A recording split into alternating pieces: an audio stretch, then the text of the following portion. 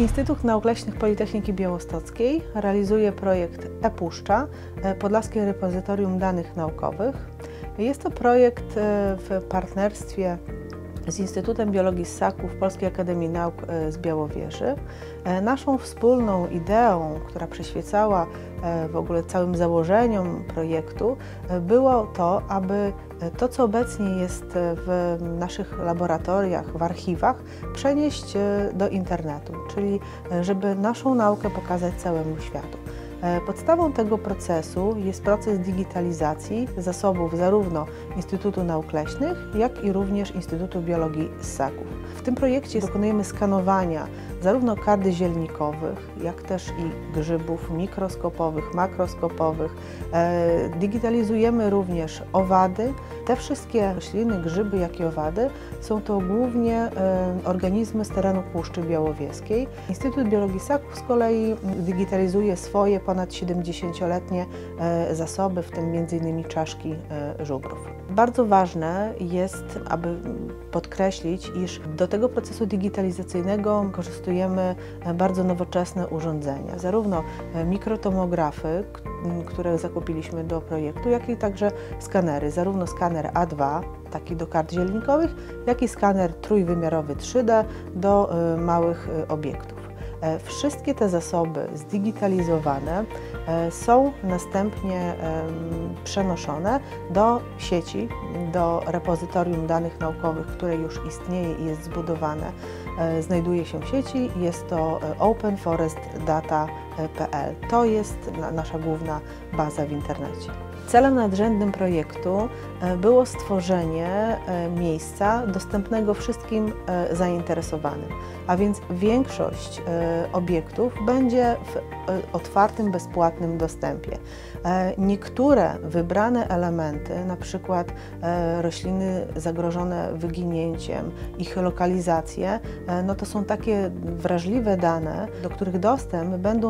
projektu e, mieli jedynie naukowcy, taki młody człowiek zainteresowany biologią, e, przyrodą e, nie tylko będzie mógł e, sobie zobaczyć, co jest w repozytorium w internecie, a więc obejrzeć te dane zdigitalizowane, ale również będzie mógł tego dotknąć, dlatego że takim edukacyjnym celem projektu, dzięki któremu my kupiliśmy także drukarkę trójwymiarową, jest to, że zdigitalizowane obiekty my możemy drukować i te wydrukowane materiały miały stanowić i mają stanowić e, zaplecze dydaktyczne dla uczniów szkół podstawowych, średnich czy przedszkoli. Projekt ePuszcza e, jest projektem dla obywateli. To jest projekt dla wszystkich zainteresowanych, którzy chcą e, wspomagać i chcą tworzyć naukę.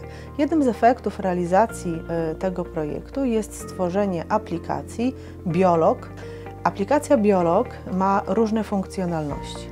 E, jedna z nich e, polega na e, gromadzeniu danych naukowych. Co to znaczy dla zwykłego człowieka? Włączamy aplikację, idziemy na spacer do lasu, do parku, jedziemy nad jezioro widzimy zwierzęta, możemy zgłosić obecność tych zwierząt w danym miejscu. Jeżeli mamy wątpliwość, czy zwierzę, które widzimy, to jest dany gatunek, e, mamy możliwość sprawdzenia, podpowiedzi e, i wówczas po, po potwierdzeniu tego, że to jest dane zwierzę, możemy zgłosić jego obecność. Proszę mi wierzyć, to, że my klikniemy będąc gdzieś w lesie, dla nas jest to niewielki wysiłek, natomiast to jest podstawa nauki obywatelskiej. Nie ma takich projektów, które by e, pokazywały badania w przekroju europejskim. A właśnie takie dane, które są dostarczane przez zwykłych ludzi, e, stanowią dla naukowców bazę do, mm, do sprawdzania trendów, na przykład wędrówek ptaków, wędrówek zwierząt, e, czy też roślin inwazyjnych. Drugą funkcjonalnością, czyli aplikacji Biolog, jest funkcjonalność związana z gatunkami inwazyjnymi, e, ponieważ e, no, na świecie takie są tendencje, że wchodzą do Polski, do Europy rośliny, których wcześniej e, nigdy tutaj nie było. Jeżeli mamy wątpliwość, czy ta roślina jest rodzima, czy może inwazyjna, możemy to sprawdzić i stwierdzić za pomocą aplikacji. Również możemy zgłosić, że w tym miejscu znaleźliśmy taką roślinę. Trzecią funkcjonalnością, myślę, że zupełnie unikalną, e, jest e, możliwość zgłoszenia martwego zwierzęcia. Myślę, że każdy z nas podczas wędrówek w lesie e, niestety spotkał martwe zwierzę, bądź też na ulicy, albo w wyniku jakiejś kolizji samochodowej i tak naprawdę nie wiemy, co robić. Aplikacja będzie mogła nam w tym pomóc.